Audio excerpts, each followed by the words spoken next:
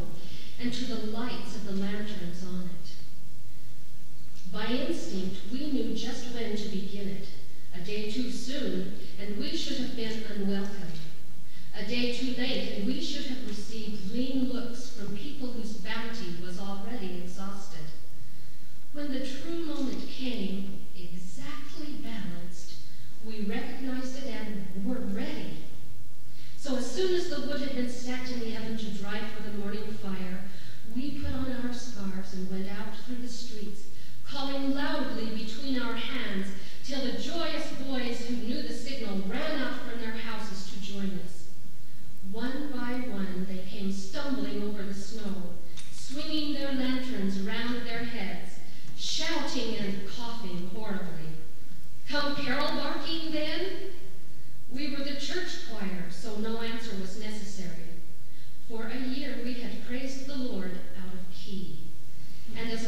for this service, on top of the outing, we now have the right to visit all the